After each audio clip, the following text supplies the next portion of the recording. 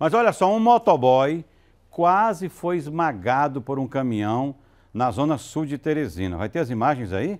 O acidente foi registrado por uma câmera de segurança. Rapaz, cadê a hora? Ah, tá aí, ó.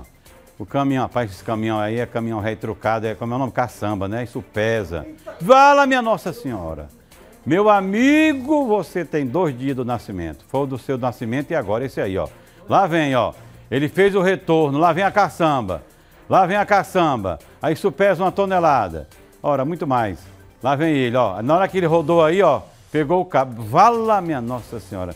Chico Filho, como foi isso, rapaz? O atropelamento aconteceu nesta rotatória que fica no cruzamento da rua 13 de Maio com a Avenida Nações Unidas, no bairro Vermelha, na zona sul de Teresina.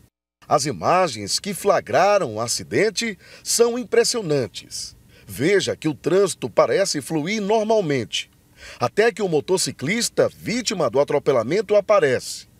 Logo em seguida, um caminhão caçamba não obedece à sinalização e passa por cima da moto. Veja que neste momento o caminhão chega a pular, a passar por cima da motocicleta. Acredite, o motociclista consegue se salvar. A regra de trânsito é bem clara: quem está dentro da rotatória tem a preferência. Neste cruzamento, por exemplo, onde aconteceu o acidente, é sinalizado com a placa de pare e indicando a rotatória. Mesmo assim, o motorista da carreta não obedeceu à sinalização e acabou provocando o acidente, que quase tirou a vida do Adriano. Este comerciante testemunhou o acidente e ficou impressionado. Felizmente ele não ficou com fraturas expostas e ficou consciente no local. É, logo, logo a ambulância pegou ele, levou ao hospital. Inclusive o rapaz da carreta fugiu. O entregador, Adriano, é quem foi a vítima do atropelamento.